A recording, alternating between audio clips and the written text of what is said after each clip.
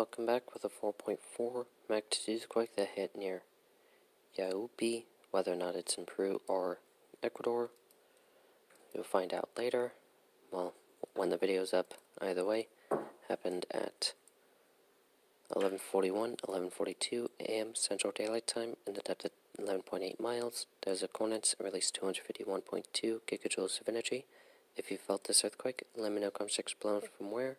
And with that, that's it. Stay safe. See you in the next video.